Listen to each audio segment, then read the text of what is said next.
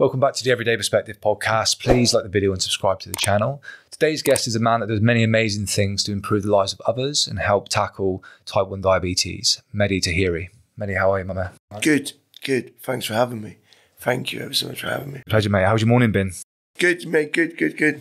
Work, just, just yeah, same, just like same circle of life. Work, run, gym, kids. But this morning I'm a little bit tired. I'm not gonna lie, but we, I'm loving this. Awesome. You've been out for a run this morning as well? Not mate, not today. Not today? Body's shut down for today.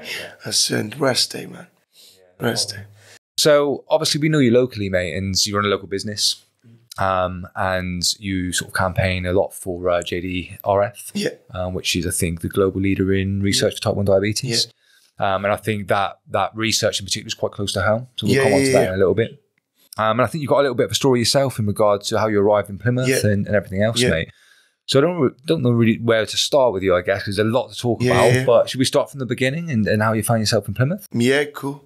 14 I was when I moved here. Um, I think I moved here back in September 1998. Came here on holiday a few years and spent, and basically we were at Terminal 3 Heathrow. I can remember it like it was last year. And then my mum and then my siblings were like, You coming back? I'm like, Nah. They're like, You're not getting on a plane? I was like, Nah, not this time. They're like, You want to stay? I was like, Yeah. So my uncle was in the navy, and he was going through divorce. Um, and he said, "You can stay with me if you want." So I thought that I said, "That's what I'm gonna do." I was crazy enough to make those decisions at that young age, and I said to my mom, "I said, like, please let me stay." And she was like, "By yourself?" Okay, you can stay if you want. And that was it. The rest is history. And it was hardest decision I ever make. I think as a parent now, I got 13 and a 12 year old. I would I wouldn't do it myself. I wouldn't let my kids stay five thousand miles away by themselves with their um, uncle or whatever, or with the family members. Because looking back now, I was just a street kid. I was nuts. I was I knew if I go back, I got no life back home in Iran. And the life has been interesting. It's been lots of ups and lots of downs, and but yeah, roller coaster I call it. Um, I've had it all. I've had it all. Um, from prison to um, catering college to foundation degrees to running a business at 19. It's definitely been an interesting one. But we we had we had fun so far. to me, the journey's been good. The journey's been good. And you can't complain. Yeah, You can't complain in life. absolutely. So you grew up in Iran, did you say? Yeah, yeah, till I was 14 and we used to come to Plymouth on holiday. Why Plymouth? Yeah, I was going to say, why Oh, Plymouth, mate? my- For all the places Oh, you could no, go, mate. fucking Plymouth. love all the Janners. Um, my my uncle was in the navy and he settled in Plymouth back in 1978, and we thought let's just come and visit him. So we came 1992, 1993, 1994 every year literally for holiday, um, three two three months, and I decided I'm going to stay. Life is better. I used to go car boot sale. Buy for you like Game Boys and stuff, and you to take them back to Iran and sell them on. There's fucking loads of people that do that now. Oh no! I, I had a game shop for years, mate, and you get all the all the Kurdish and Iranians that come and buy PlayStation 3s and 4s. They fucking sell them for a mint back home. And they end up used to be like, no, you're Oh not fucking God. having them because they used to clear us out.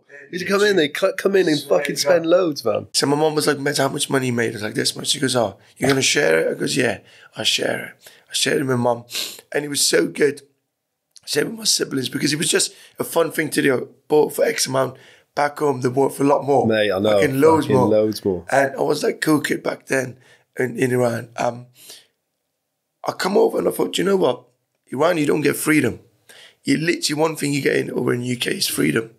You get like, you get to be who you are. Um, and you got a lot more opportunities in front of you. And as long as you're crazy enough to take these chances, you and you believe yourself, you could possibly make it happen. But back home in Iran, it was almost like, nah, you got to go with whatever they say. You can't do certain things, or it's, it's it's a hostile environment over there. That I thought that's not for me. My siblings and all that they went back, but I thought, nah, I'm gonna stay. I'm gonna stay. Went to school here, Didn't learn a lot. Fuck me, man. I was suspended and um, kicked out few times because just that's the type of guy I was. I was just wanted to be in the street and have fun, and I was always working, you know. Um, and then I ended up basically banged up, for, yeah, for a little while, about a few months. Um, but that taught me a lesson, and I've always said to everyone that questioned me about like my past, I said, guys, that was a path I had to go through to become who I am now. If I didn't go inside, if I didn't, if I didn't go inside, I wouldn't have been a chef. I learned to cook and I was inside. I got my the only qualification I got from cookery is when I was inside. when, I, when I come out and when I went to CFE, I didn't even get my qualification because um, I missed so many lessons and stuff. So it taught me very good lesson. I didn't um, go back in. How did you find it in there? I enjoyed it a Loads lot. of fucking people say that to Yeah, me. Everyone I speak to about it. prison, they're like, yeah, it's all right. I enjoyed it. I enjoyed it. Even though I never owned a PlayStation or Xbox in my life. And when we were inside, if you're a good lad, you get PlayStation. I was like, mate, I'm not into that. I just want to work. So I worked in the servery, in the kitchen, got my qualification and stuff. I come out, they're like, what did you do when you were inside? I said, mate, I cooked. I learned how to cook and I got my qualification from then. The rest is like pretty much, okay, cool, let's get a job here, let's get a job then. My uncle bought this premises. He goes, Do you want to run it? I was 19 at the time. I thought, okay, cool. I'll give it a go. It was hard because 19, I didn't really know what I was doing. I didn't know anything about business. But it was, the overheads wasn't a lot. So I thought, I'm going to give it a go. Instead of me working for someone else, I just want to crack on and do my own shit. Um, and it was good, hard work, but I partied hard. I worked hard, I partied hard and I had a good community. And I always believed in if I keep my regulars happy, they could come back and they could bring people. I wasn't worried about going getting new customers. And yeah, and it's been my the main ethos in business. I'll keep the people that kind of like support my business, especially the community around me, very tight. And I look after them and they look after me. So that was 19 and 10 years later, we opened the second one. Then we start doing outside events and going to cook for like different artists. So you've done that for 10 years? Just from, from 19, you didn't shut down nothing? You No, just no, no. Bed, bed lasted, bed restaurant lasted 11 years. And then we opened Heaven Up and then we went tour catering for three years. Um, that was fun. So you name the artists we'd done, we catered for backstage, toured with them. Anyone from Snoop Dogg to Jason Status. No. Ben Howard, Sam Fender, Rudimental, mate, you name it, man. I'd be done it all. Mars Kane, oh, fuck good, and Stormzy, you name it, we done it. But nine, 12 years ago when things changed with Scarlet with type 1 diabetes, me and my manager, now Becky, we just had to come up with this idea that we need to change things um, and do something different. So nine years ago, we came up with the idea of fuel. Um, and we stopped doing the tour catering and artist catering. And um, uh, it's been a nine, good nine years, good challenge in nine years, but it's been hell of a journey because we give people with type 1 a better hope. We've, we've almost turned, when you look at our business, like page, is not always, you don't always see a picture of food, you don't always, we don't always talk about food. We talk about the little, the running community, little, um, almost like community that supports us to raise awareness and funds.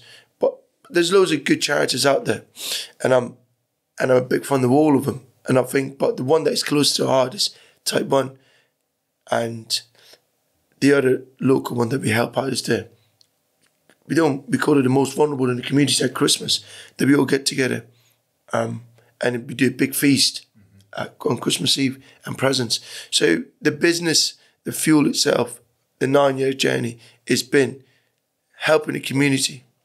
At the same time, like you earning a bit of money and you're enjoying it and you're giving back to the community. Make sure you raise a bit of awareness. Make sure you tell people why you started. Make sure you tell people that the journey was to give hope. The journey was to kind of like support the ones that need you. Um, and the message was to care. Um, and is if I think if you give and if you give generously, you don't need to um, wait for it to return. You get a return, honestly. And I believe it, I'm a great believer of that. Um, and we see it, we see it like we, we help out so many charities. We had a true charity event last night uh, for Crohn's disease UK, and we, we helped them up, give them discount, give them room hire for nothing, just because I care about the charity. It was someone that good friend of ours, and they've been helping that charity that's very close to me. So um, so we had to make sure they had a good event, we had a good do. But yeah, is the journey's been is, is insane. We we could talk, we could sit here and talk about all my um, interesting life stories. Mm, we'll definitely get into a few of them, mate. Go for for it. sure.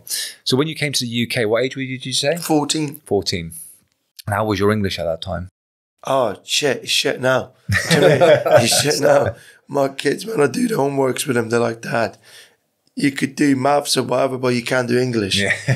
I'm that bad. Yeah. Spelling, fucking, you name it, mate. I'm rubbish. we had uh, we had uh, Toby Gorniak on, who Uh-huh. you may know locally as well, um, and he came to the UK a bit later on than you, of course, but um, he didn't speak very good English either, Yeah. and he struggled and, and suffered a little bit of prejudice when he arrived. Yeah, Did you yeah, find yeah. that as well? Um, oh, mate, do you know what? Mm, Because back then Plymouth was a very very white city, was it? Multicultural. Yeah. Non-multicultural city. Yeah, it wasn't. If I say I didn't, I'd be lying. But it's not as bad as everyone else says. If you get what I mean. yeah, being a street kid, I was always, always up to like, not no good, up to like doing like, I don't know, things like every 14, 15 year old would do. Just, Been out. just, being go out, and yeah, have fun with your mate. And um, it was What fun. area was you living at? Um, Barbican, most of it. hell, yeah. Literally so on the Hoe. yeah. and then we went St Jude, and because it was still close. But um, I didn't suffer because I kind of wanted to be one of the local kids, and I said I promised myself I'm not going to go back, no matter what happens here. I want to make this my home. Do you mean? And we did, even though I was um, born in Iran and I was there till I was 14. I called this place home because it's, they, people have been good to me. And I say this to everyone Plymouth has been good to me. Very, very good. awesome. And then tell us about how you um, got involved with a little bit of crime and ended up in prison. So what was that all Oh, about? mate. Nicking cars. That's one way to get in with the locals, isn't it? in Plymouth. oh, my God. Oh, nicking cars. My kids can hate this. But they know, they know this. That tell my kids everything. Um, but I don't keep any secrets from them, I swear. Um, they know my ins and out of my life. Pardon me. But yeah, mate, sh- yeah, fighting, like, like, yeah, nicking guys pinching the little things. And it, we went inside for fighting. And it was the most stupidest thing that we did in one night. It was just one night. We got bored, out and about. You think you're tough, offering a few people out. Before you know it, you get busted. You're like, oh, did I just get caught for that? Was it worth it? No. Now you got to do the fucking time. Now the it stays on your record for fucking ages as well. It's a pain, man. You can't get rid of it. But it definitely taught me a lesson because they said 80% reoffend. And I had to be in that 20% category. I didn't want to go back inside. Even though I enjoyed it, even though I got qualification, even though I look back and I'm like, okay, cool. I didn't have one bad day inside. You know? Even though there were days that there were days that we had fights. None of them was bad days. Because we never caused the fight. Um, but I came out and I thought, okay, cool. I wasn't one of those guys, oh, fucking look at them. Nah, I was like, do you know what? I've done bad things and I'm inside and I'm doing my time. Let's go out and let's sort my shit out, you know? Um, then I had the opportunity to open up a restaurant because when you come out of jail with back then as well with Canal Record.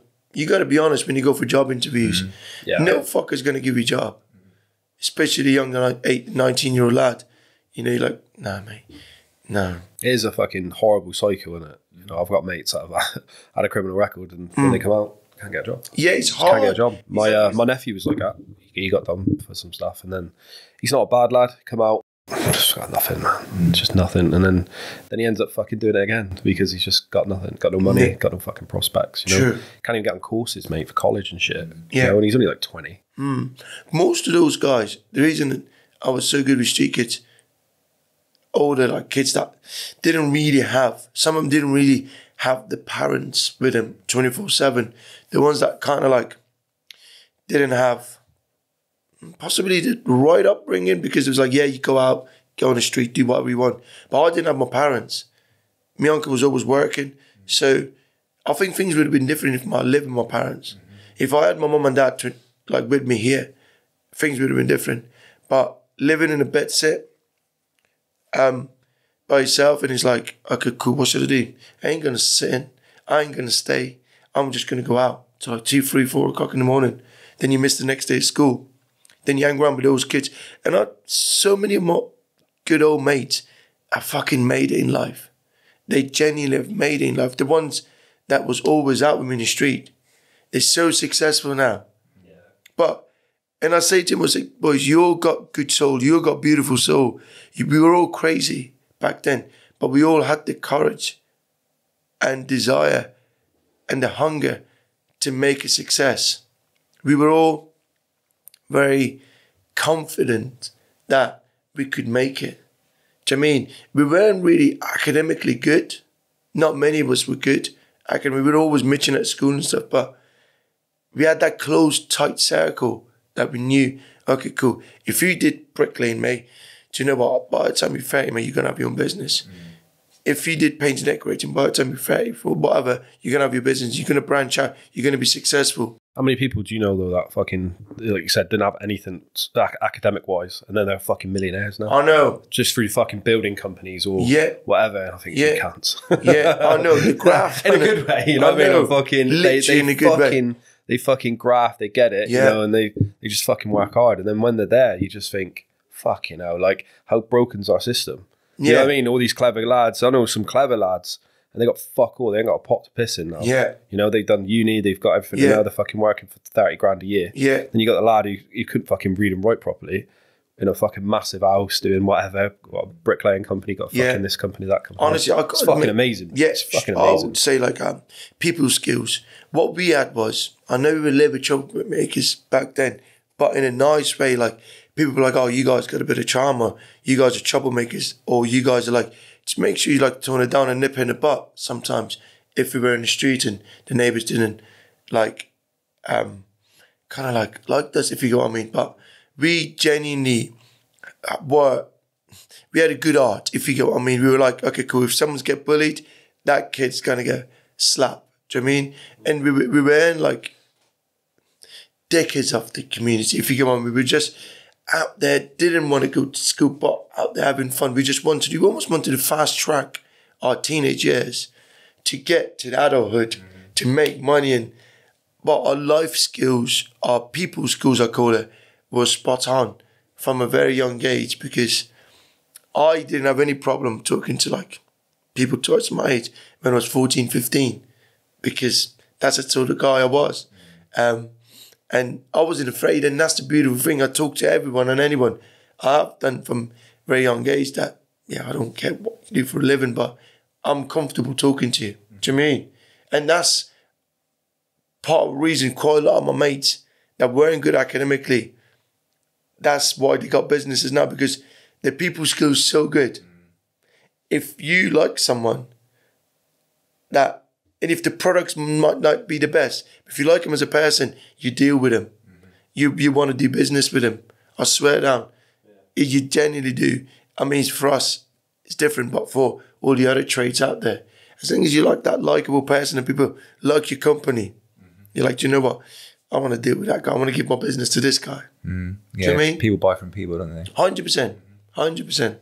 Massive believer of that. Yeah, true. And then when you got nicked and you were looking at jail time, like where was your head at then? Because obviously, when you were in jail, in hindsight, you obviously got some qualifications, and now that's led to where you are now, which is Yeah. amazing. But as like a youngster at that point, facing jail, were, were you scared or Do you know what? We had no fear. okay? As a teenager, I got, uh, do you know what? I'm scared about. I got, I'm fucking, I got fear about fair things in life now. But back then we were fearless. Yeah. We were fearless. We didn't give a f- flying monkey about fucking what we do and what we go up to. He just went and did it. But now I think, okay, cool. Looking back now, 100% you would do things differently. You know, going inside was pretty much tough times to start with because I had to tell my mum. Hmm. She was my best mate. She still is. My kids and my mum were the three greatest things that ever happened to me in my life. I told my mum I'd gone to private school. She goes, What do you on about? I said, Mum, I was so bright. one, that's one way to put it, right? I was so bright. They put me to private school. So it's like, Matt, where are you calling me from? I said, Mum, in this private school, they, they allow me to call you once a week on a Friday. So because I was doing catering and I was working in the main kitchen, I got to know the governor of prison really well. And he said, mate, what can I do for you? I said, mate, my family live 5,000 miles away. I need to call my mum once a week. He goes, why? I said, because she don't know I'm in prison. He goes, didn't you know? I goes, no. I said, I would like to speak to once a week. He said, you could speak to maximum 30 minutes. So that 30 minutes, do whatever, but just one phone call. I said, okay, cool. So every Friday, I used to go to this basic room and phone my mum up. First time I called, she goes, man, where you calling me from? I can't get hold of you. Why are you not answering the landline? I goes, yeah, yeah. You spoke to uncle? Yeah, yeah. He said you're away studying. I goes, yeah, yeah, mum. Remember how good I was at maths? Remember how good I was at science? They literally seen something in me. I've gone to special school. Not a special fucking need, but like special. She goes, Med, where are you? I need to call you. What's the number? For me to call you. So you can call. Is that, it's, it's like literally so restricted here that you can't call. Um, I could call you. She goes, okay, cool. So every Friday you're going to call me? Yeah.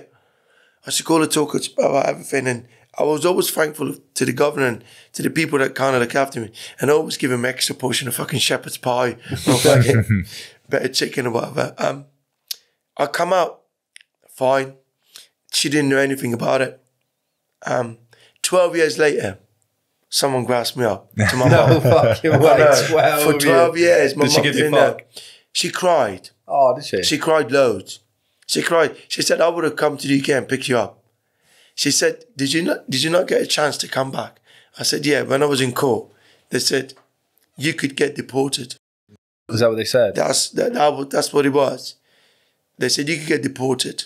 Do you want the Iranian embassy to know you're here? or do you want to go jail and come out and do whatever after? I was like, okay, cool. We can't make that decision now because um, I've been here like four years. I don't want to go back to Iran. So in my head, I'm thinking, I'm thinking, I'm thinking, what should I do? What should I do? Go back to Iran and that's a one way ticket. I was about to say, yeah. That's a one-way You ain't ticket. coming back, and yeah, they won't let you back. I in. ain't coming back. I was like, okay, cool. Or just ride it. So I thought, now I'm going to ride it. I'm going to ride it. And then when I come out, when this 12 years went by, my mom was like, mate, did you go to prison? I goes, yeah. She goes, "What's up?" I can't lie to you, mum. My mum knew everything about that one secret because I knew how much how much you would hurt her. Because she said, mate, the only regret I got in life is not spending enough time with you. And that made me cry. Because I was, I think I was, it was 19 years.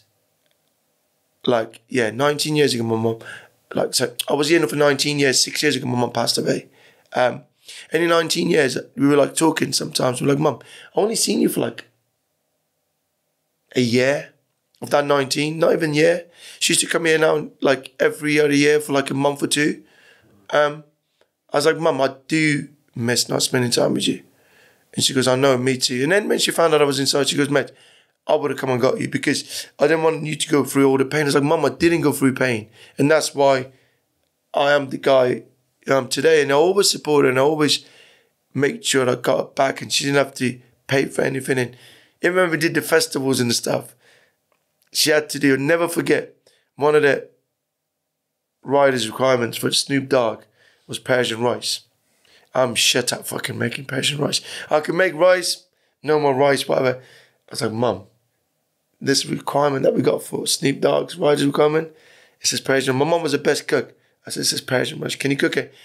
Joe from Boardmasters when Steve was catering to Plymouth got the fucking Persian rice from me and then take it back there. I was like, Mum, it was a big thumbs up. You know, they love your Persian rice. I was like, Mum, you know what? She was, ah, she was the best.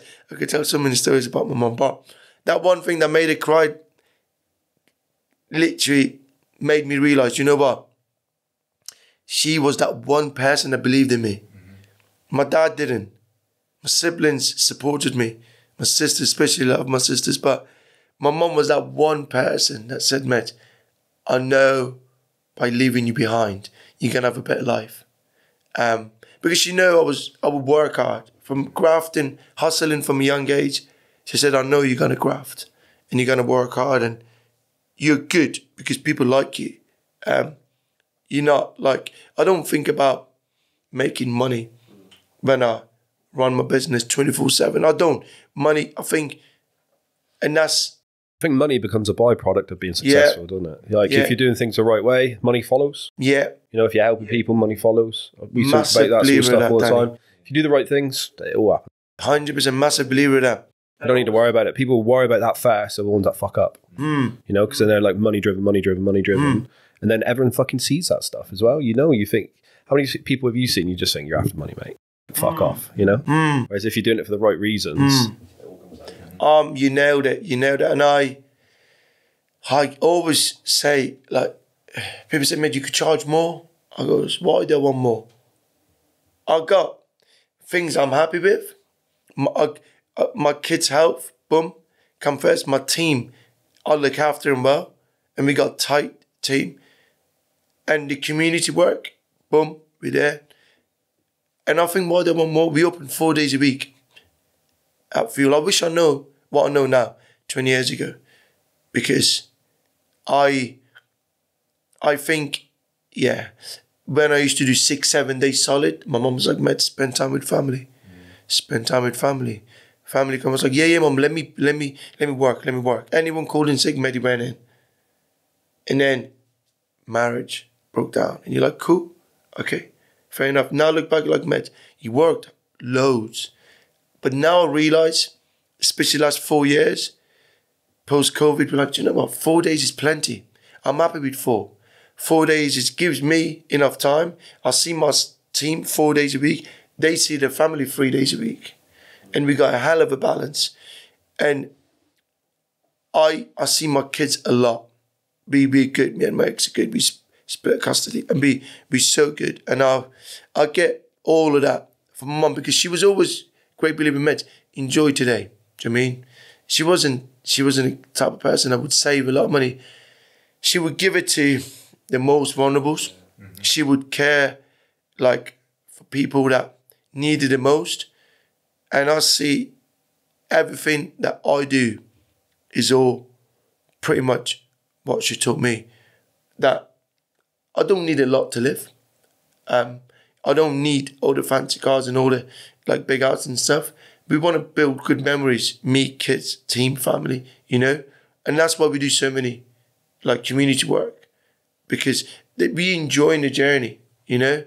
I can't do, if I did it by myself, I won't enjoy as much, you know? And I say this to everyone. And that's why the marathons or half marathons or climbing the mountains and all that um, is so much more fun when we do it with a team and we're raising more awareness, mm-hmm. you know, and we're bringing everyone together. And it's, it's been a big part of success for the business. It's almost like people support, support me without me even trying to tell them I need to make money, I need to make money. Like you said, money comes. Honestly, money comes. You do good things, you believe in your product, and you genuinely trust yourself that you're going to work hard and believe in what you put on a plate in our industry. people will support you, um, no matter what. You know, Yeah, no, it's completely true, mate. Tell us about how you ended up catering for some of these musicians and these stars. Oh. Then, how did that happen? do you know what? We literally didn't even think um, it was. We did we would do anything like it. So I love live music. I'm a mad fan of live music. I'll have a drink or two, um, or three or four. But, um, I could handle my drink. I could handle my drink. Not really. But I think with catering, sometimes you don't expect things happening. Like if you get taken an opportunity that comes at you in life, um, then things will happen. You're like, okay, cool, this is nice, this is different. I always said sometimes things gets a bit boring when it's same shit every day. So we had to try something new. My mate called me up because I met. I'm going on tour with Ben Howard. Do you want to come? I was like, cool. Fair enough. Let's go. So we did a tour with him. We were in London, and then the festival organisers were like, "We really like your food, and really like the basically what you've done here. We used to like get like a, a normal room and turn it into like a little restaurant, a pop up. Didn't matter if it was at O2 or if it was in an arena in Manchester, if it was in Newcastle, whatever. So like, give us a kitchen, give us an area, we turn it into pop up restaurant.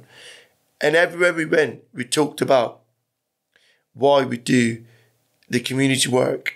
Um, from an early stage, obviously the first couple of years, Scarlett wasn't diagnosed with type 1. Um, and when we did get diagnosed, when she, Scarlett did get diagnosed with type 1, we always shared that message everywhere we went.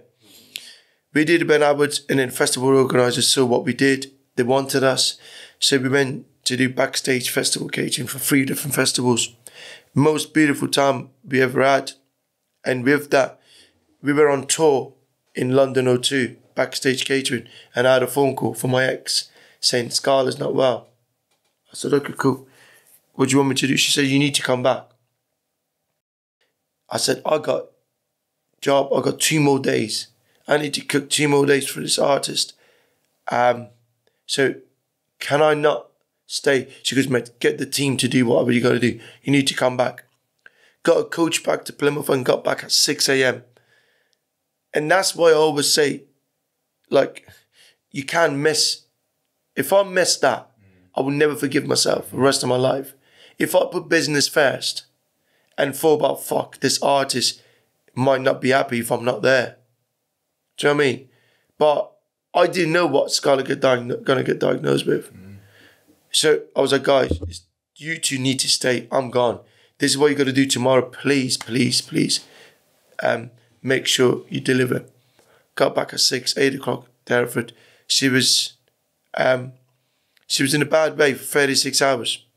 She was in a bad way for 36 hours. They in fact told us if we didn't take her in on Friday, 30th of November 2012, and took her on Saturday, the chance of her staying alive would have been 50%.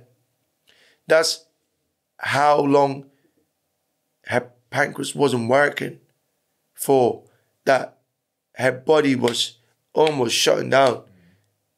That she had so, she was so unwell, she lost so much weight, and she wasn't herself. And the doctor, all he said to me was, when I took her on a Tuesday before I went to London to do the job, the doctor said, Your daughter's got terrible twos. You know what it's like? Cough, better, losing better weight. She might be whinging, she might be weeing a lot. These are all the signs of terrible twos. So I'm like, mate, okay, cool. I believe the doctor as we all do. as we all do. So I said to my ex, I said, she said, Did you take Scarlett to the doctors? I said, Yeah, yeah, doctor said it's just terrible twos. The wean, losing weight, whinging a lot, or screaming and uh, little brother and stuff. Yeah, she's just got a little cough. Cool. So can I go London to do this job? Yeah, go. We didn't know the signs. We didn't know. I didn't know what type 1 diabetes was back then. And I, I genuinely I always tell people make sure you do your own test. Make sure you look for signs. Make sure you don't make the mistakes that we almost did. By leaving it too late. And I'll never forget when she come back to being normal again. The first day she was out, it was the most beautiful day ever. I was like, I can't believe I got you back to being normal. Even though we're gonna prick a finger, we're gonna jab the insulin, but I've got my daughter still. Yeah. Do you mean I got my daughter? And then when they said to me, like, I met this is a lifelong condition, I said, nah, we need to change that. I need to give the type 1 community hope that there is there's a cure might not be my lifetime because I'm as old I'm old as fuck but um but in my kids like my Scarlett's lifetime there would be something that they'd be like do you know what? It was worth raising money and awareness for because things changed and things improved. When we did that every time we went and did catering for an artist festivals. We always wore um, a JDRF type 1 diabetes and everyone asked what's that for in fact, I got 52 type 1 diabetes shirts, the blue with the JDRF shirt. I used to wear them every day, all the time. It got to the point Scott goes, Dad, can you wear something different, please? I swear to God, for years, I, every day at work, I wore that. They send me a pack of 50 and few people give me a couple of shirt t-shirts. That's, that was just because I wanted to raise awareness. I still wearing that again. But the community is so big now that the, the the vest, the blue and white vest that we wear is pretty much everywhere at the events that we walk up to, and is is good. It's good. Uh, what we need, um, we need to keep keep it going. You know, um, but yeah, that festival gating was fun, but at the, for the time being, we put we put in all our time and effort into fuel, which we kind of believe is the right thing to do raising awareness and building a strong community for something that is very, very, very important to me and to the loved ones around me, you know? Yeah, we'll definitely come on to the diabetes stuff in a second, mate. Before we do, did you manage to meet any of the, the artists or celebrities? Yeah, all backstage. Yeah, everyone, everyone. Um, Paul. Who was who was the who was the worst and, and the best person you met? I think we had a. I think. Oh my god, they were all good to us because we were given, giving them extras. So if uh, you vaccines, if the vaccine said I want soup, I'm like, good, give me a couple of hours. I'm gonna go knock up soup for you guys. And then if 1975 said I want a fucking barbecue in the beach, to start, I said fuck off because I didn't know who to wear in 2013.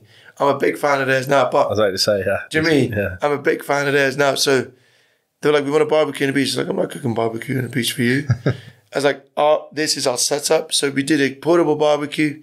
We gave them our meat and Matty Healy and all them. They just came and collected it, went to the beach by Watergate Bay, kicked themselves, whatever. But no one knew who they were. They just thought this. But back then, they were just um, just starting up. Snoop Dogg, they were good. Um, I think Maxi from Faithless, God bless him, passed away last year. He was just, he's like, I just want liquid. I was like, okay, do you want smoothie? He goes, no, I want Stella. I go, cool. I'll make sure I go get you Stella. So um, he didn't want food. Um, we had the guys from Rudimental, um, one of the managing people. He was a fruitarian, which I've never dealt with a fruitarian. The fuck is a fruitarian? I don't fucking know. So someone who just eats fruit. yeah. fruit and veg, but just no honey, nothing. Just yeah, fruitarian. I was like, okay, cool. Fuck me. I know we done it all. I know. Fruit, that's, Fruitarian. that's I know. Um, we had it all, but we had it all. We had um, fuck me. We had an artist that wanted us to do to um give him sweet card like a pick and mix stuff. I was like, cool, no problem, pick and mix. Um, we had to make sure we supplied enough champagne. We had to make sure we supply oyster to fucking certain artists that we can't say. But it's just you're like fucking why oysters, man? Do you know what I mean? But we did it because if we didn't, they wouldn't have performed. It was written in a contract. If you don't perform. and then if we didn't perform, obviously I wouldn't have got fucking paid. So, and we had a big team. We used to take a team of like 16 of us. 16. Honestly, Dan, now, uh, Boardmaster was like team of 16 backstage. But the beautiful thing was, we finished at half eight and the headliners were at nine. Nice. So we all got to see the headliner at least. And we used to party till like four or five in the morning. I caught so many of my staff sleep in the toilet, locked themselves in, when they and then they used to get in, shower, and stand next to the grill and fry like half asleep. Seven o'clock cooking breakfast. but honestly, um, they were they were good, good, good times. But lately we've been working with Sam Fender is is is I think yeah the next big fucking artist that gonna come out from um, UK to kind of like explode. So yeah, we done a job for him recently. Only like um, three day work at Newcastle, and that was good fun. But um, took the staff up. We had a couple of nights out in Newcastle. Fucking good night out. Yeah, it's a good night out in Newcastle. You've been out in Newcastle. No, I've never been mate, that it's far north, fucking mate. quality, mate. Another stag do with um, oh, what's she called? Fucking this big fat bird who fucking does fish and chips, and she sits on people's faces. Oh, I've talked about that before, but let's not go over that again. It's, It's gross. fucking disgusting, but it was fucking funny. Did you get her for the stag? No, yeah, yeah. So my, my mate had uh, had her for her, mate. It was fucking, it was horrendous. we couldn't go anywhere like that because our manager Becky. Remember, it was four of us, but um, because we had her with us, we couldn't really go to, yeah, places that it was inappropriate for a lady to go to. I mean, she was- From what what he said last time about it, mate, you, you probably dodged the bullet there. So Seriously? yeah, oh, mate, we, we had like a rented a, like a little flat. serious. Yeah, they rented a little flat Class. across the way. We stayed in a fucking like a youth hostel type thing. Uh-huh. It was fucking shithole. And then across the road we rented a flat. And then this fucking strippergram come in. Grottogram, isn't it? Grottogram, Oh, yeah, that's what it's called, mate. She's fucking huge. But it's not that, mate. She just purposely stinks. yeah. Fish Anyway, and chips. we digress? Fish and chips. Fish and chips is my you'd favourite have seen, food, you'd, you you'd, know. you'd have He's seen her gonna on ruin it, Facebook about five years ago. Yeah, but fish and chips is my favourite food. Oh, it won't be now, That's it. mate. I had my wedding. you won't fucking like I it had after my this. wedding. I swear to God, it's so good that I had my wedding. Did you? Yeah, main course at my wedding was fish and chips. I love that shit so much. No, after what you just said there. yeah, sounds like some fun times you had there, mate. So, what was your company called? Uh, what- what's the company called that you sort of have working with with those sort of things? Oh, mate, we used to call um. Remember we had Bed Restaurant Yeah, back in two thousand and four. This April will be twenty years since started that shit, man. It's mad. Our time's gone. Um, so we had Bed, and we just took Bed on tour. yeah, okay. You know, um, and anyone who's in Plymouth, kind of like my age, they know they will bring your own wine restaurant. We used to have down Breton Side, but Barbican um, Bed was good days. So many of my mates had the first dates there. Yeah, stitched so many of my mates up. And we used to have, for about six, seven months, we used to have a double bed in the restaurant that when you phoned up, it got so popular, they'd be like, Can we book a bed? I was like, Of course you can. So people used to book a bed. Um, and then we're like, Guys, I know you booked it, but can another couple get on a bed as well? They just want to sit the other end of the bed. And then before you know it, they were snogging. I was like, This shit is getting serious, you know. it's turning into more like a swinging club yeah. Wait, wait a than minute. a fucking thing. You need to go back a step here, mate. so, your restaurant bed had beds in it. one double bed. Okay. That was like curtained off. That when you booked, you're like, mate, do you want a table for two or do you want to? The bed is not booked out. You could book a bed if you want. So, what you would eat in the bed? yeah, just put on a tray, just eat in the bed. Okay. And then when bed was when the when that one bed was booked out, Yeah. the next couple that wanted to book bed, we're like, okay, guys, uh, by the way, bed is booked out. You could grab a table, but when you finish your meal, if you ask a couple to book the bed, and if they're still in the bed, you could just go on as well. I swear down. There used to be like two, three in the bed. I was What like, the fuck? that bed, and it used to be a laundrette, not street called Holgate Laundrette. Um, I was like, the guy's like, mate, you back again? I goes, yeah, this, these sheets need washing, Megan. Like, they need washing. So indirectly turned into a swingers club. Literally.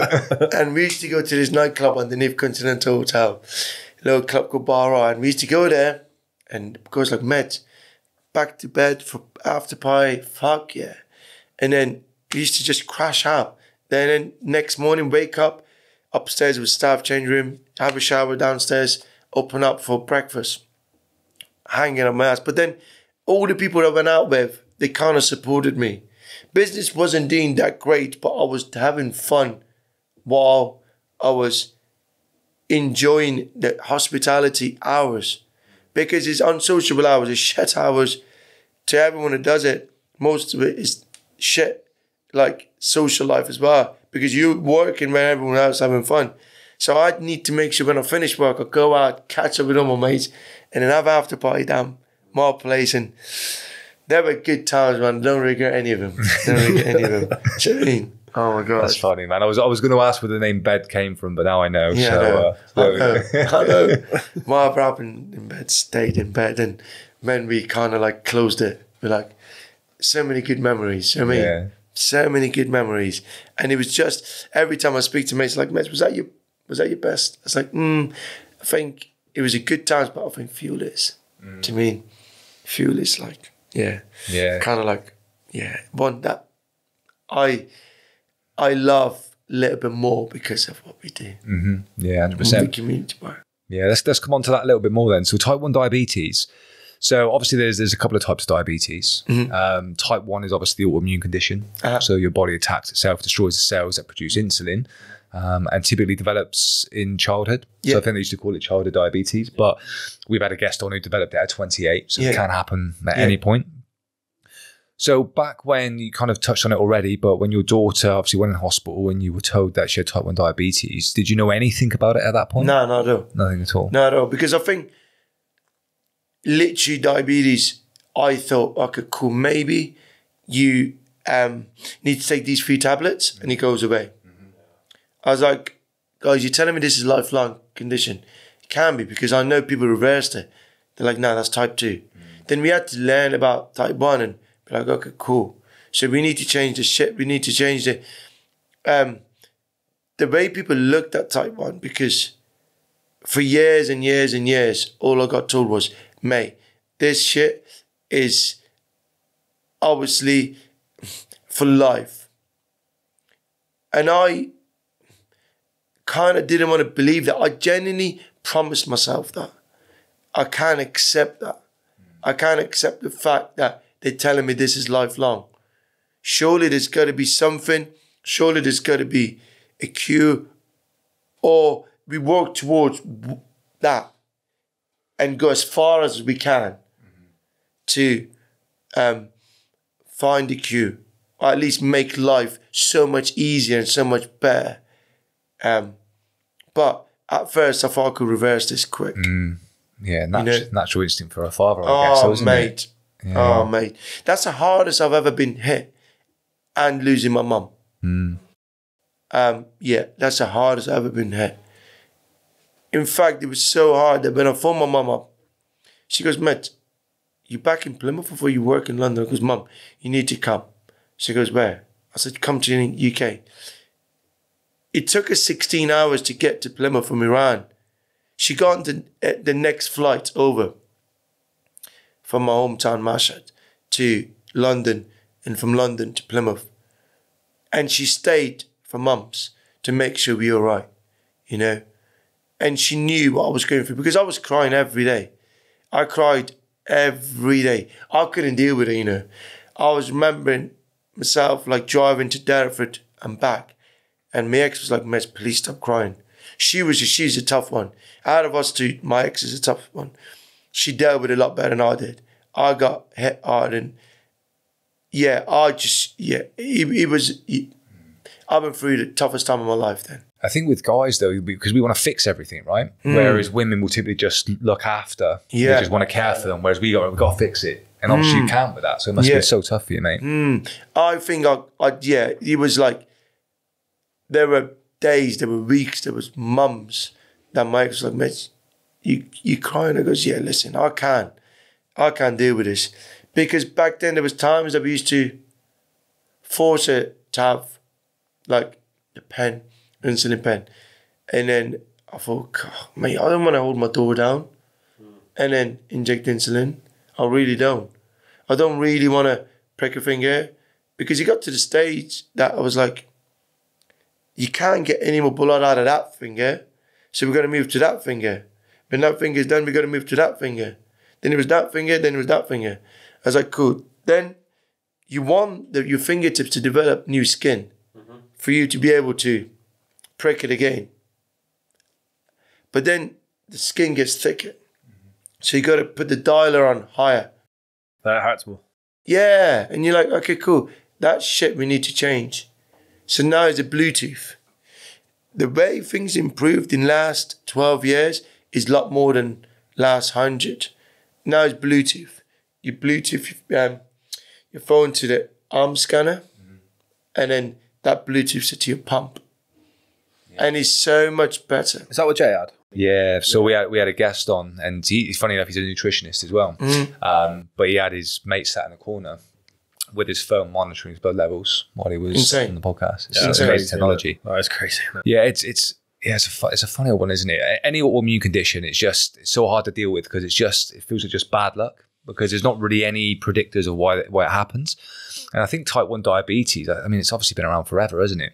I read something ages ago when I was studying sort of um, uh, di- diabetes, and that I think even in Roman times there was like physicians who reported people just kind of wasting away and they didn't know what was wrong with them, Uh-huh. and they commented that they tasted their wee and it tasted of sugar. So that tells you even back then there was like type one diabetes, Uh-huh. and obviously synthetic. Um, Insulin was, I'm not sure, I can't remember when that was invented or Uh-huh. discovered. 100, 102 years ago. There you go. Thank you.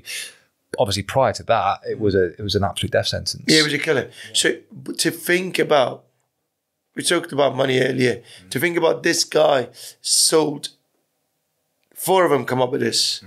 Insulin. So um, Frederick Banting, when they invented insulin, Canadian got they sold it for one dollar.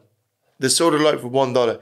Now I think I read something the other day is the fifth most expensive liquor, um, liquid. Sorry, in the world the guys in America are fucked. That's how because they have to pay stupid amount for insulin. The guys in Canada they, they pay quite a bit, but the Americans tra- travel to Canada, to car share to get insulin to go back. We're so lucky in the UK to get it for free. Mm-hmm. We're so lucky to get it for free in the UK, and I think if back then the guy sold the rights for one dollar, he didn't really want these companies to make millions of it. That's why it's such a fucking shit time that we live in. That is, these cunts are all making shitloads of money from it. It should be it should be illegal straight away. Do you know what I mean? A hundred percent. I think we are so blessed to have NHS that we get support. We don't go without. I swear we don't go without. And this is why we keep doing what we're doing because we like we thank you for doing everything you guys do in NHS, all the researchers, all the professors and the doctors, all the study that goes behind the scene for make life better. But we could do our little thing by raising awareness, getting people to donate a tenner, f- five a year there, because things are changing, things are changing fast. But to think that we have to pay for something that we have to survive, um, and if we can't afford it, um, you basically you die. You're like fuck. Surely, uh, mate, twenty first century, twenty twenty four. For God's sake, I think nothing worse than have, having to worry about am I got enough? Have I got enough money for my next insulin? Yeah, it's crazy, isn't it? I think a lot of those those types of diseases, autoimmune diseases and stuff, they do put premiums on the drugs, especially in America. They do it all the time. Supply and demand, isn't it? Yeah, and, and they make so much money. I know um, my mum's got an autoimmune disease called uh, Graves' disease, and um, it's a thyroid problem. So she goes overactive and underactive. So it's, it's regulated by T4, which is Okay. a drug so, which gives her thyroxine. So T4 is like cheap as chips, like really cheap. But for her to regulate, they need she needs T3 and T4. Um, about three years ago, they cut her off of T3, so she's been ill pretty much on and off for years now. The reason they cut her off T3 is because it went up 700%. The price was like over, I don't know, like £240 a month for the NHS to get it. So they completely cut it out. Um, it turns out that that company now got fined like billions for what they had done because there was no actual reason for the price increase other than to make more money. It's crazy. So all these people in around the world, but around especially in the UK, completely got cut off. So there's like thousands of people, obviously millions with like thyrox- uh, thyroid issues, underactive, overactive. Couldn't get it. Just couldn't couldn't get access to it. It's mad. It's not fair. I don't think. I don't- yeah, when you look at it, you're like, these guys. It does it for um, money. Um, You think you right in the head? Yeah. Do you know what I mean? You're right in the head. Who does that to someone? Like she's mean- been miserable because of Yeah. that. You know what I mean? you mean- Genuinely can't get out of bed, can't do this, can't do that. You know, fucking all sorts of fucking problems. And you think doing that to someone for a few quid, like, and not just her. All these women, all these people, everywhere doing it for what? For what? For a few quid, so you can have a bigger house. Yeah, That's it. You know what I mean? You're not, you're not, mm. you're not struggling if you own shares in a pharmaceutical company, are you? You know what I oh, mean? Nah. You know what I mean? You're just doing it for bigger, greedy fuckers. You know? Yeah, and greed. Fuck me, man. Loads of people want more.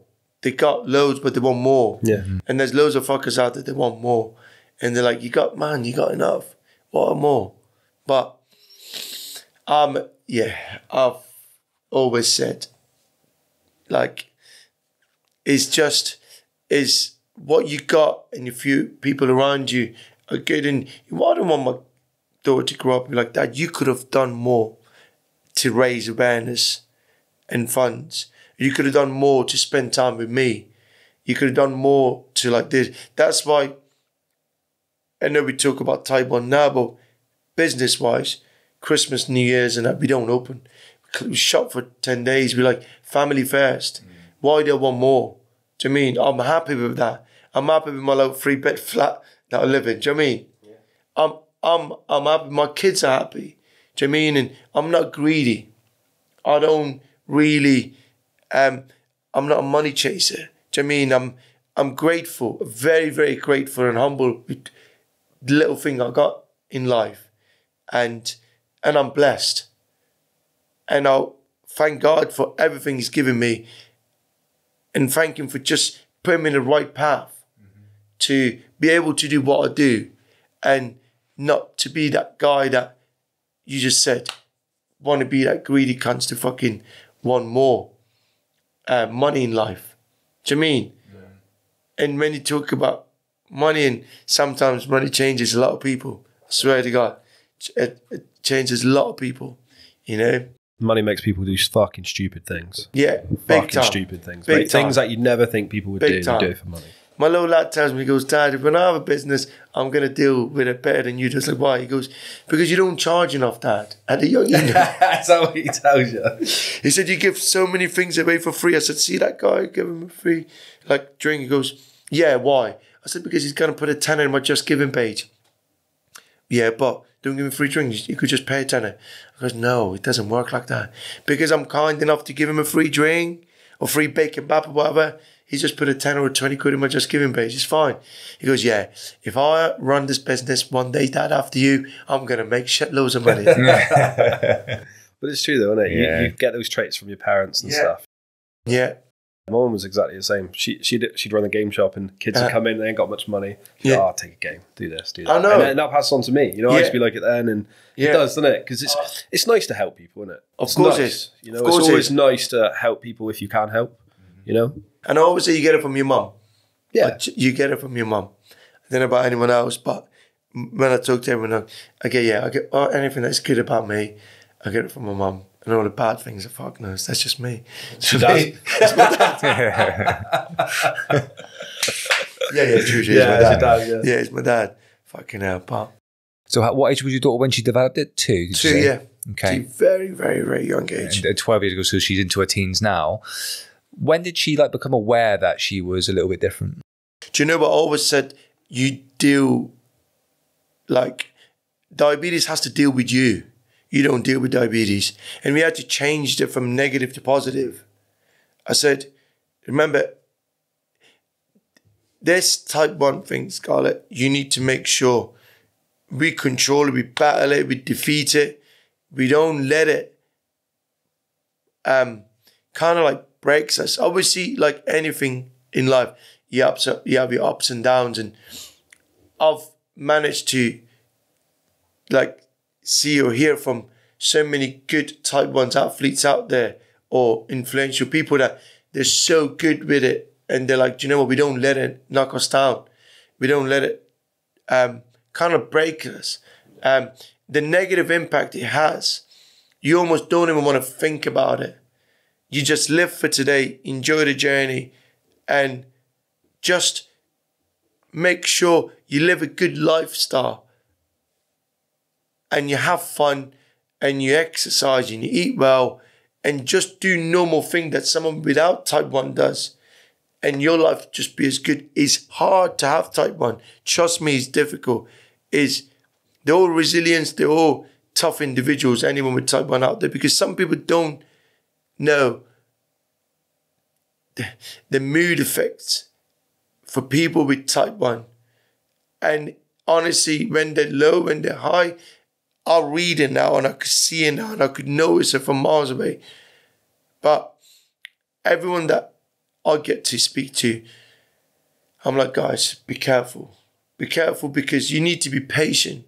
You need to like listen to them when they highs or when they're low, and you need to make sure you kind of like careful what you say because they they're not if they're not functioning properly for like a couple of minutes, if the eyes are lows, they need to or sometimes if they're lows, you need to make sure you're there with your Lucozade, with your juices, with your food. And if the eyes you need to make sure you, you kind of like deal with it in a correct way and not lose your temper. Um, and I have managed to get enough knowledge from Instagram, YouTube, whatever, to be able to keep giving that positive message to people, boys. And I think there will be a queue in, I would say, in 15, 20 years. I've got, I know people 89 years old and they got type 1. And this old dear, the painter and decorator that works for us, his mum, she's 89. She's had type 1 for 54 years. But she's normal. She's normal. So when people say type one this, type one's that, she's not the most like she's not your athlete, but she's lived a healthy lifestyle. So when people are like, oh, do you know what? The side effect is like, I don't even think about a side effect. This type one's got to deal with um, um, us because we we be here to like tackle it in the right way. We do everything we can to have have as normal possible life that we can. You know, um, yeah, you can't let it. You can't let it defeat you. Honestly, it's it's, it's horrendous out there. Some some days we've had we've had incidents that they're not nice incidents, but we managed to deal with it. Mm-hmm. You know, and she knows. She got so many good mates around her that they know how to deal with it. When she's low at school, her mates are there with biscuits or with juice or whatever. She's got so many top quality friends that like got her back that we almost like we are, she actually goes to school that I went to and a couple of the teachers and my mates from when I went back when I went to school um Lipson so they know not that they care more but they are careful because if because a condition, if she needs to be like in a medical room, she knows okay, cool, boom, then she needs to be dealt with pretty quickly. And I drop everything. There's been times halfway through the service at fuel, I've gone, man, I've been by myself and me and the pop wash me and the company chef was like, guys, stop the service. The sole job I got, my ex, like, because she works for um, She's social care work, uh, social worker. So she worked. She couldn't drop. She does as well. She she's so good. But I could drop everything. It's my own business. I can like fucking give him refunds because I need to go to school. Make sure I take the insulin pen, or make sure I take Lucozade. Make sure I take food. Scarlett's number. Make sure I go and pick her up. I'm so sorry to all my customers that I let you down, but I need to go. I get. I literally. Um, get there as fast as I can. And because you got to, you got to, because you don't want to miss it. You know what I mean? You want to, you want to make sure you're there. But um, is yeah, it's been, it's been a challenging, but it's been um, life changing. Um, but we we dealing with it. Diabetes, like listen, we can't let it defeat us. Mm-hmm. He has to, he has diabetes has to deal with us. And that's what I always say to people. I swear, mate, we are tough motherfuckers. I swear to God, we they need to deal with us. You know I mean? And that's the message I said to all the communities, Taliban communities out there, um, or to any sort of um, illness that pretty much people got. Mate, it's easy for me to say it because I don't have it, but I swear I see the pain. But you're still dealing with it. Yeah, man. You know what I mean? Yeah. Still dealing with it, mate. It's not, Hundred percent. it's not one of those things that just fucking. It's probably saying shit, but seeing your daughter like that's fucking. It's so hard, and then having the, well, just having to deal with that every day for fucking Yeah. however many years is, Yeah. is Yeah, know, and that's hard. one of the reason, Danny. I made sure I had my own business because I could pick and choose hours. I could be like, sorry guys, I'm like close this day for whatever reason. So those three days we closed. Those are three days I got my kids Sunday, Mondays, Tuesdays, and I don't want them to grow up like that. You know what? Mm, when you had us, you're working all the time. So as a dad, I'm doing everything I'm supposed to be doing, spending time with them, but I need to make sure they know I've done I, I've done everything. I could, if you get what I mean. Caring is the most beautiful gift my mom gave me. Caring for people, no matter my kids, people around me, is I've been blessed with that. And um and I think if anything that um I would say to anyone out there, like I said, it doesn't have to be the charity, type 1 diabetes charity, any charity out there. You get people together, you care for that community, and the people who's affected with that um, charity, they, they, they, they appreciate it so much. When we do these marathons, these challenges, when you see different amazing charities, you're like, do you know what? This is good, you know? This is good. I'm glad everyone gets together to raise awareness, to um, raise a of money, to make life better for people affected the most, you know? Um, and I would say that charity work is my charity work is my is my best work that I do. Is the best thing about us, and is a is a great feeling when you give back. Yeah, it definitely is, mate. Tell us about the work that JDRF do then. The research behind everything that they do, they they try to improve lives for type ones. It doesn't means we we all chasing a cue, we're all chasing a dream, and the dream is that ultimate goal, and the goal is to find a cue. But they're making life so much easier and so much better. Now, you, most people you see with that armor scanner now, you know they got type one. So before if someone claps in the street, and if they had a hypos, you'd be like, "Mm, what's wrong with that guy? You wouldn't know, would you? You wouldn't sometimes they think they're drunk. They say, Sometimes they think there's all sorts of stuff in it. Some people have tattoos now, mm-hmm. like they used to have tattoos, type 1 diabetes tattoos. But look, you can't expect a young child to have a tattoo. Do you know what I mean? So these arm scanners have been the best things ever happened. So 99% of people who got these arm scanners, they got type 1 diabetes. Some people have it for a health reason. Some top athletes have it. But then I'm not against that because I think they're still raising awareness. Because when some top athletes wear it, it monitors the blood sugar level. And then they see um, how they perform and stuff. I think that the work that the JDRF do, the reason we're so close to to that charity and the work they do is they they when I said earlier about hope, they give me hope. They give me hope about Q. They give me like they I'm hoping they're making my dream reality one day by finding a Q. We had a single biggest donation last year from the guy who owns the Redrow Housing Group. His son's got type 1 and he donated £5 million to JDRF. Wow, that's amazing. Five million pound check. Yeah, because his son's got it. His son is nine years old or ten years old, and if you got going back to what we said, if you got the money, why not? Oh, yeah. Why not? If we didn't have the money, if they JDRF don't have the money, they won't be able to do all this research. These professors, and these doctors, and all these work, work these guys work in the lab. th- that shit needs to be funded, and I think it's so important. It's so so important to do what everything you can. I literally believe that to do everything. Don't leave anything behind. I'm at the age that I think I got so many more marathons in me that if I don't do them, I will regret it when I'm 60, 70. So if I don't raise awareness now, if I don't raise money now, I can't do it when I'm old, old. Because I'm like, let's do it now because I got my health. I could do it now. I got amazing people around me that we become a family. I don't even call it community, we become a family.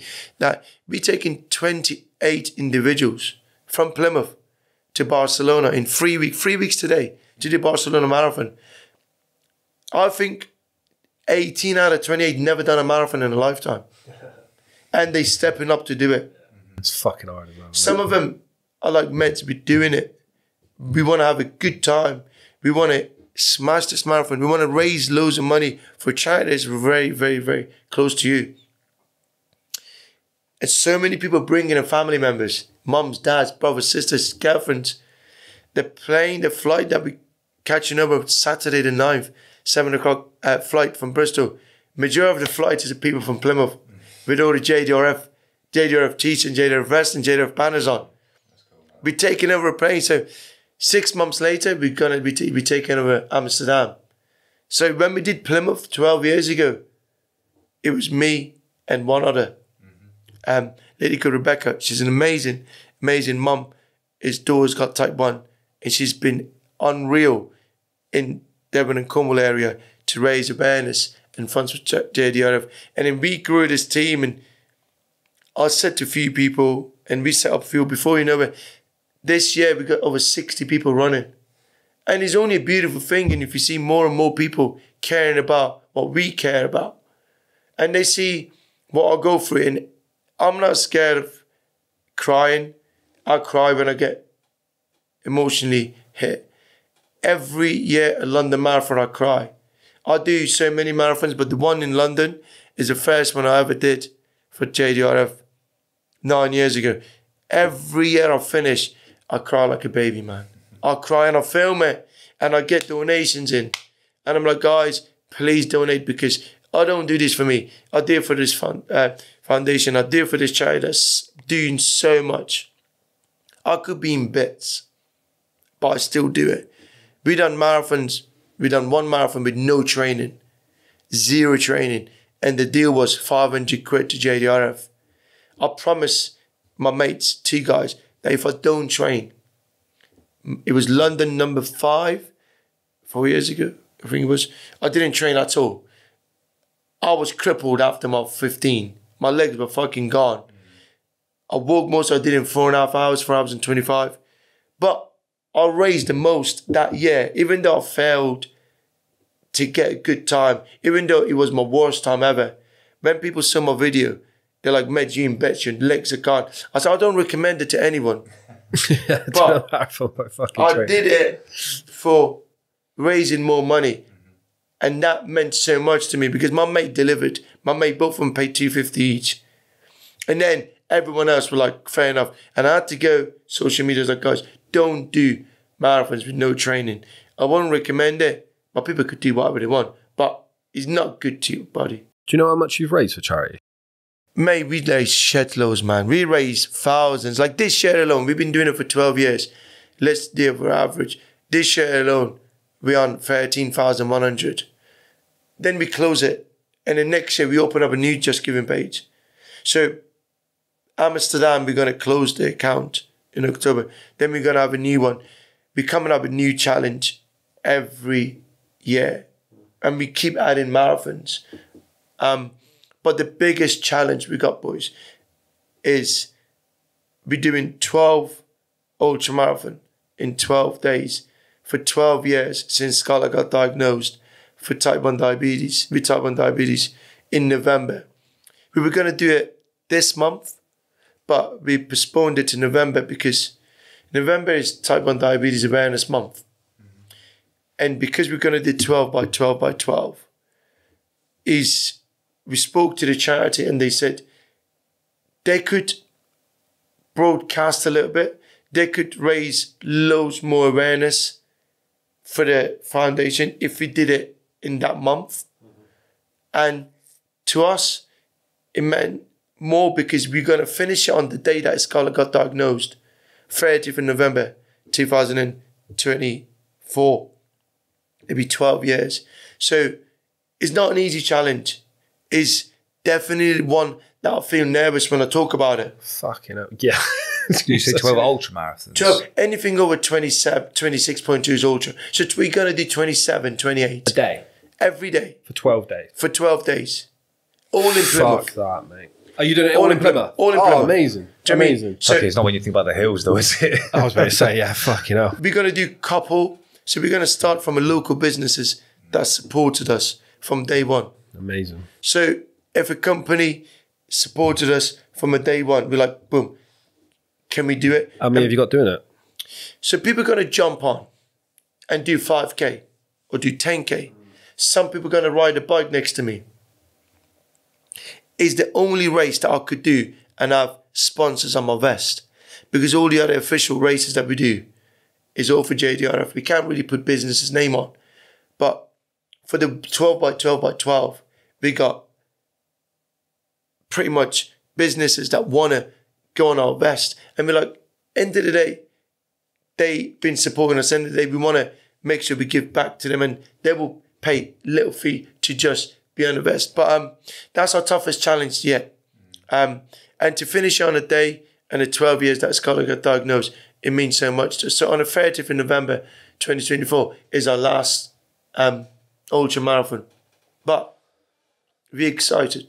We, um, we're very excited. Is if I did a half marathon, I don't expect you guys to dig deep and pay um, good money to my JustGiving page. Half marathon is tough to do. I don't. I don't.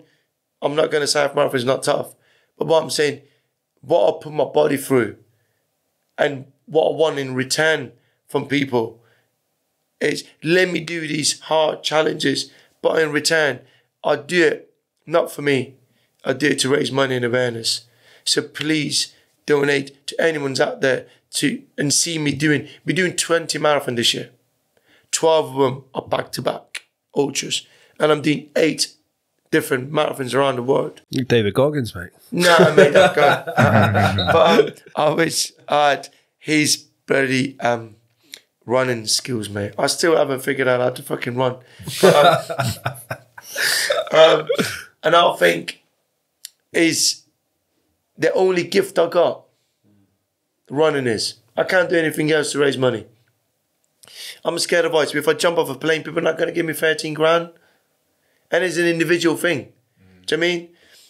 But I like to do things as a team. Running's hard, mate. Fucking mentally, Uh-huh. physically, fucking Uh-huh. emotionally, innit? I fucking Uh-huh. hate running. Yeah. I was the only footballer, mate, who hated running. I, know, I think I'm the only Grappling runner. suits me. I know. I think I'm the only runner that actually don't enjoy running by myself. I don't think I don't remember the last time I ran by myself.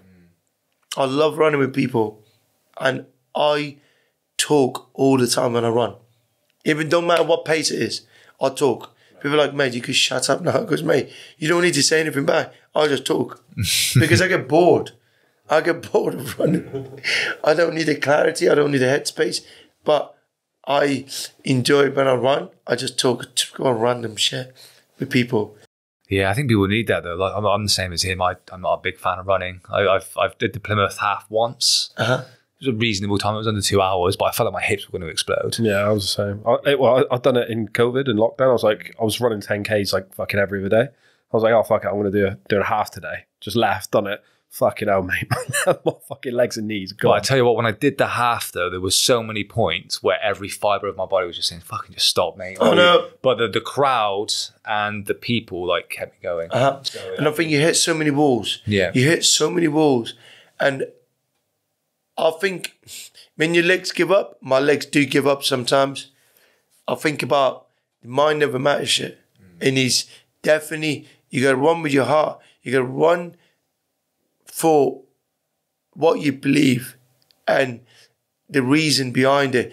Honestly, there are times someone found a video of me. This guy in Amsterdam was running with, with a stick and he was do, trying to do sub three. And I didn't know I was in his video until someone found it the other week. They're like, Mez, you're in this guy's video. I was like, what?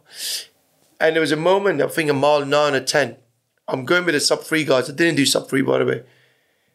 I always run my phone, and I got a picture of my kids and my uh, what's my wallpaper, and I'm looking at my thing, and it goes, "Mate, you had your phone on you, and you were kissing your phone." I was like, and when I hit a wall, I kiss my kids. It reminds me why I do it. It reminds, it gives me a reason why I get up and do what I do, um, because you almost want to pass that on to them as well, to kind of like care, I've hit so many walls. I've hit so I've had so many cramps. I had so many bad knees. But do you know what? What is it? Three hours, three and a half hours of your time you're gonna suffer. In my head, my dog goes through it every day. My and then but the, if you're gonna look at it that way, you're like, mate, three and a half hours, four hours of your fucking time is nothing compared to what they go through. Mm-hmm. You know? Yeah, it's such a powerful motivator, isn't it? Hundred percent. Yeah, yeah. Hundred percent. And I'd say to people, I, I'm not the most, um, like Mister Motivator type of guy. I'm pretty. I don't really take many things that seriously in life. I like, I do things properly, but um, I kind of like to. I'm good at a few things, and that's caring, giving back, my charity work, my people around me. But um, I'm up for good fun. I'm enjoying this journey. I I am genuinely loving everyone around me at the minute. I'm in a good place, you know, because people care for me and I care for them, you know. No matter, like, it's my team at work, the team they run with, my kids, um, but, and that's the message, and I, I say this, and I'm a great believer. Um, work hard, give back, do good things, be good, and mate, you you don't expect it, but you get it returned to you. I swear, and that works in business, that works in charity, that works in the community, in anything you do in life. You know, um, but yeah, man, it's good. So can't wait. Three weeks today, Yeah. Barcelona. Fucking hell. Um, you've mentioned a few, a few, a few times, mate. Obviously, locally, people know exactly what you're talking about, but this this goes out to to a quite a wide audience. Uh-huh. So, how tell us a little bit about Fuel real quick and how you leverage that to raise awareness as well. Uh-huh. I think we started because we needed to have a food that ticked every pretty much box when it comes to like a well balanced meal. So we did, we started with meal prep. So we did like cool. Recommended meal portion is 180 grams of pasta, whatever it is, um, one chicken breast, 75 grams of veg, whatever, um, and better sauce. So we did that, and we thought, okay, cool. If you eat this, you're not going to eat again for four hours, at least. So these well balanced meal in a box that we did, meal prep. That's how we started fuel, and then it was good with people with type one, because we made sure we kept our ethos. We still do our meal prep now. We are in our ninth year doing it, but the business changed so much because with meal prep we haven't put our prices up. We put our price up by one pound in no by no it was four twenty five by w- uh, seventy five p in nine years. So for me to be able to survive as a business, we had to do we had to almost make sure we do our meal preps, but and that will never change until fuel's around. But we had to do the bar side, we had to do the event side, we had to kind of like do the old weddings and do the old takeaway, do the old restaurant service, where we did normalish food, but do it healthy mm-hmm.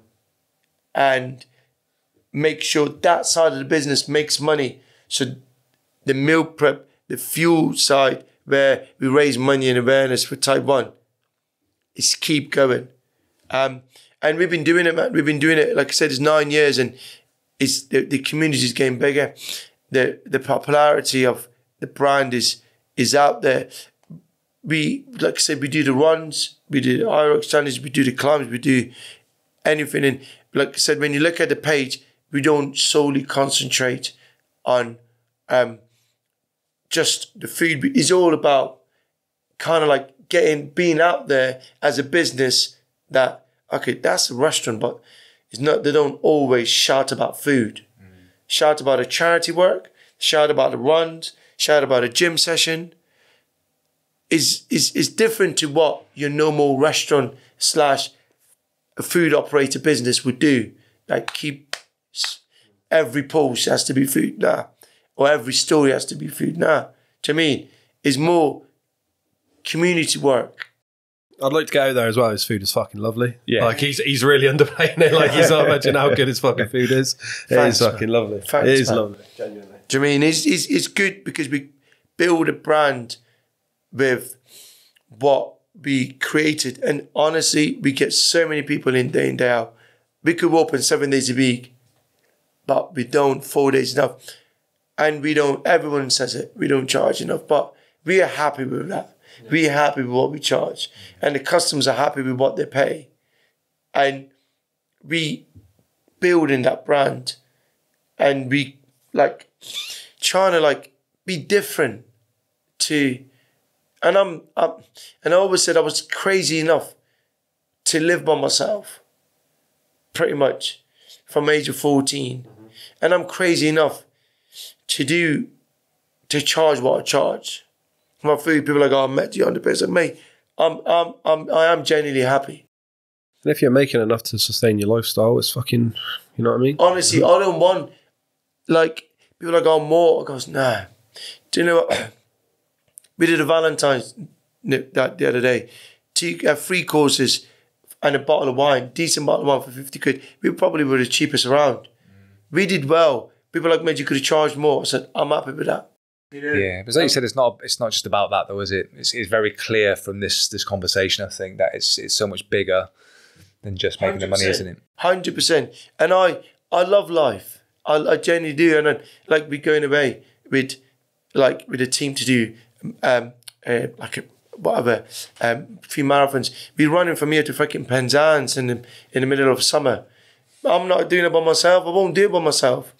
The people that care, the people I cared for, and I looked after, they're like, mate, we want to give it back to you. Mm-hmm. And so many of them, they don't even have anyone with type 1. But they're like, mate, because we care about what you do, we want to do this idea of us running from here to Penzance, it wasn't my idea. People were like, mate, do you want to do it? I was like, cool. If you guys want me to do it, I'll do it. Like, we want to do it for JJ. I was like, cool, let's do it. Got to finish in 24 hours. We do it. I don't mind. So, but if I tell people tomorrow, guys, I want to do Amsterdam Marathon, I put it in a group chat. I think one of your good mates, Liam, is coming along as well. Oh yeah, Yeah, he's coming up to Amsterdam. So we're like, boom, he wants to come? Before we know it, we got 19 signed up so far in a week. You watch him out there, mate. All right. It's a good Keep kid. a, you keep a good eye on him. Yeah, he's got a good art. Might get lost. He's we all gonna get lost there, mate. We're all gonna get lost in Amsterdam. To me, I think not many of us will probably make a flight back. I'll Nah, make great sure lad, great lad. they're all good. Yeah, they're all, all great lads. Yeah, a lot of them are, mate. I know, me, I know quite a few. Liam of them, is one of them as well. Good people with good art. I call them people that kind of like went through little difficult patch Yeah. in life, Definitely. but they all got beautiful souls. It's not perfect, is it? to You me, none of us are perfect. And we all got beautiful souls. And all my mates that we got into trouble before when we were teenagers, they all got beautiful souls. They might not be you're an average guy, that polite kid that got A stars in that school, but they they had good arts, you know? And um yeah, we got so many of them in our team.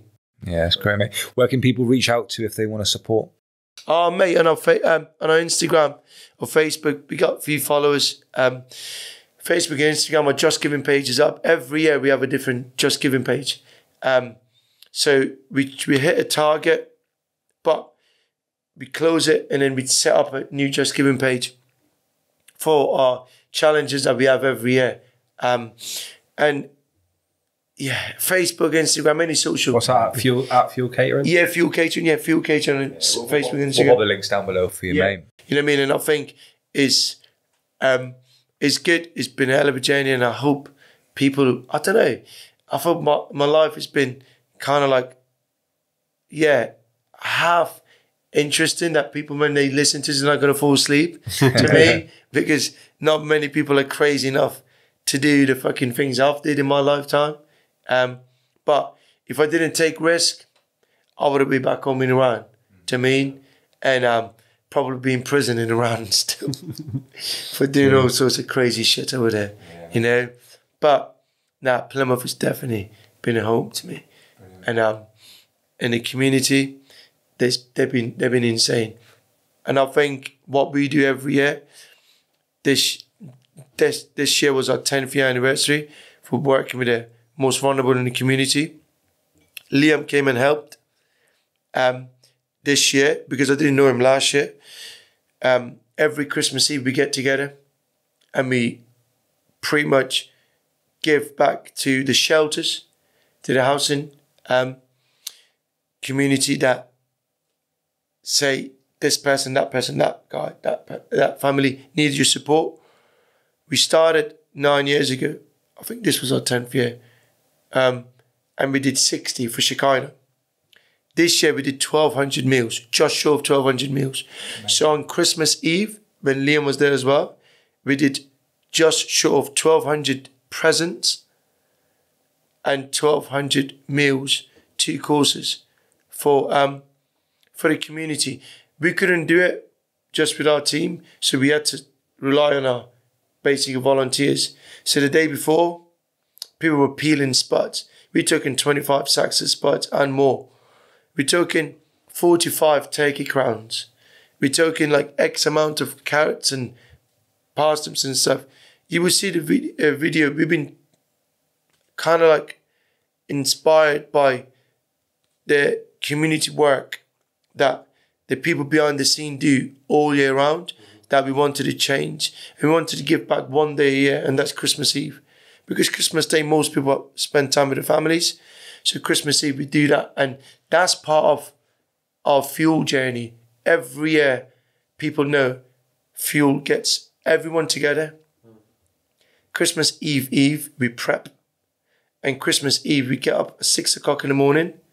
In the kitchen, we have all our volunteers. Someone makes the brownies, someone makes the Victoria sponge cake, someone donates hats, gloves, scarf, um, sanitary stuff, deodorant. So every presents that people get is all essential stuff that they pretty much probably might need.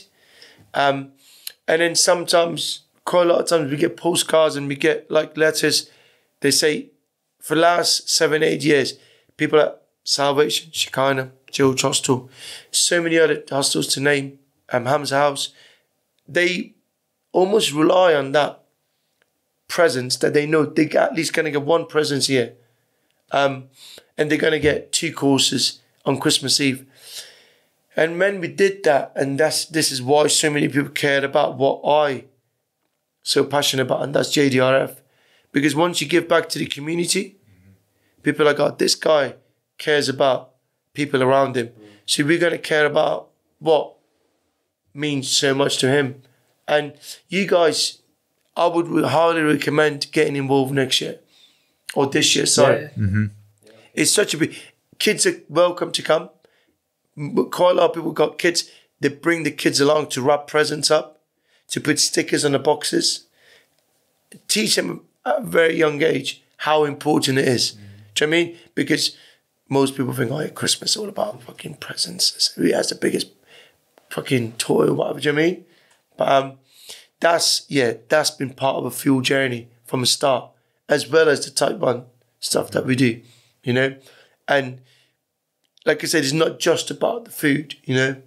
Is is more to it than let's just do healthy food in a box. Do you know I mean? Yeah, yeah, count us in, mate. You'd be good. Mate, appreciate, appreciate it, mate. Thank you, mate. Thanks for coming on, mate. Cheers, mate. Thank you, mate. Yeah, absolutely.